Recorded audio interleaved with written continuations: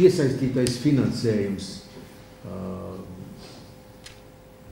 pilsētas attīstībā no dažādiem fondiem. Kādi, no kādi tad resursi ir piesaistīti?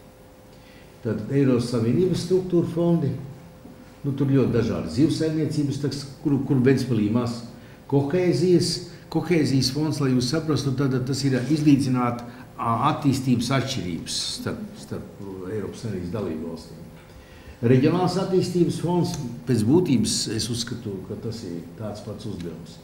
Eiropas sociālais fonds, tad sociālajie jautājumi tur būtu, ja, un ir pārobežu sadarbības programmas, kas nav daudz, bet arī mums tādi projekti ir bijuši.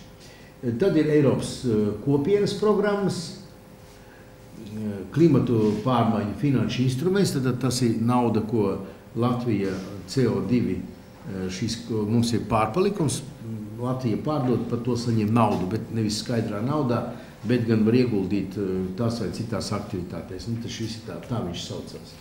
Tad ir Eiropas ekonomikas un Norvēģijas finanšu instruments, ekonomiskās zonas, tā ir tāda, nu, kas ir ārpus Eiropas Savienības valstis, bet uh, viņiem ir nu, tā, tāds pats status tā kā ekonomiskajā sadarbībā kā Eiropas Savienības dalību valstīm. Uh, šis instruments, nu, tur ir maz, salīdzinoši maz tas finansējums, ja? un valsts budžeta finansējums. Tur pieminēts kultūras kapitāla fonda līdzīgi, bet tas ir tikai tas zīmēs konta. Tur, tur cits. Nu, lūk, no 14 gadu laikā ir piesaistīti 428 miljoni eiro. Tāds, tāds ir aprēķins, tā tur saskaitīšu. Nu, ot, 428 miljoni eiro, ja tur 3400 eiro uz vienu iedzīvotāju. Kas, kas, es domāju, ka nav maz.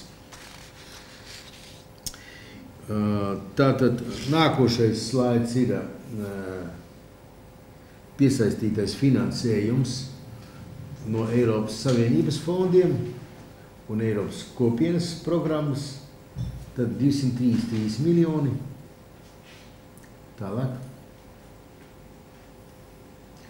No, no 233 miljoniem uz šo brīdi ir realizēti projekti par 171 miljonu. Nu, un te jūs redzat, Tātad, kas tie ir par naudu, no kurienes? Redzat, kohēzija, reģionālās attīstības fonds, ja?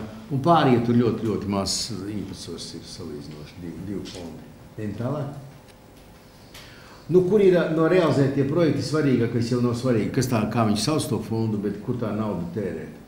Nu, kā jūs redzat, tad apmēram vienādi cipari ir, un tas veido turpat pusi, ir ūdens saimniecība un ostas attīstība.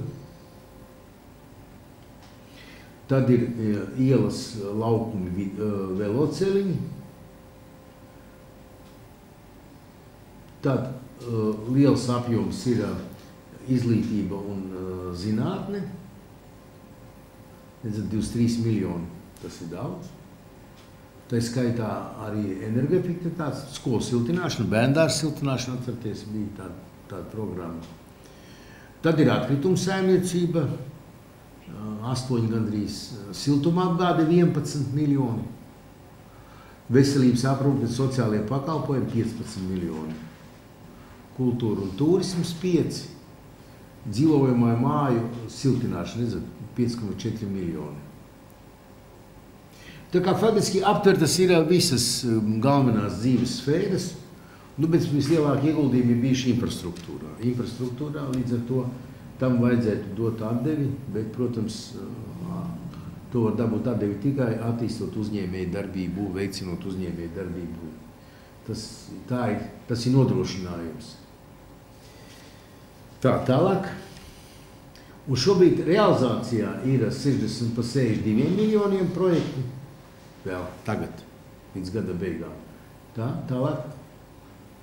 Nu, jūs redzat, lielākā daļa, kas realizācijas stadijā ir 60 tātad vairāk kā puse osta, tad izglītība un zinātne, tad ir ūdens saimniecība, nu, un tad ir siltuma apgāde, daudz dzīvokļu māja, siltināšana un veselība. Tas ir, tas ir tie, kas jāpabeidz šogad.